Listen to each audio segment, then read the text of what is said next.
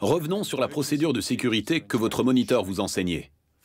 Avec le système SOS, les mots-clés sont jambes, regarder, attraper, tirer, cambrer, libérer.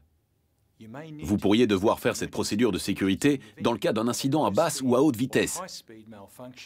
Vous devez donc la connaître sur le bout des doigts. La procédure de sécurité pour le système SOS est jambes, regarder, attraper, tirer, cambrer et libérer.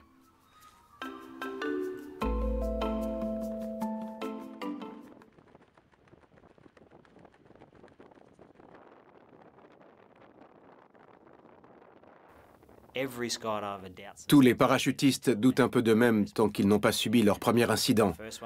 Mon premier est arrivé à mon 723e saut.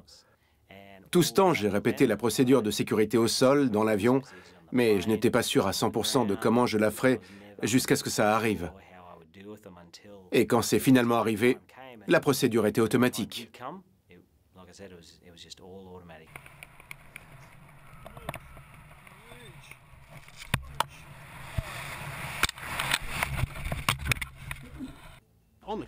Avec le mot-clé jambes, les jambes sont mises en arrière, sous le corps. Ça force les hanches à se placer vers l'avant. Quand on tire la poignée de libération, on se retrouve alors en position à plat, face au sol. C'est la meilleure position puisqu'elle fait de nous une plateforme d'où peut jaillir le parachute de réserve. Il vaut mieux prendre le temps de regarder et repérer la poignée plutôt que de perdre un temps précieux à tenter de l'atteindre sans la voir.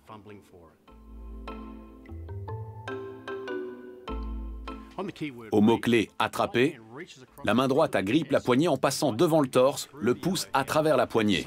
Au même moment, la main gauche est placée au-dessus, permettant de tenir la poignée fermement.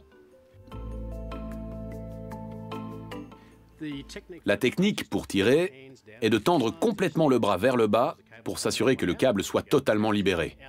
Ensuite, on reprend une position bien cambrée. Et enfin, la dernière partie, c'est la libération des câbles. On le fait en balayant les câbles de la main gauche. On balaye tous les câbles si nécessaire.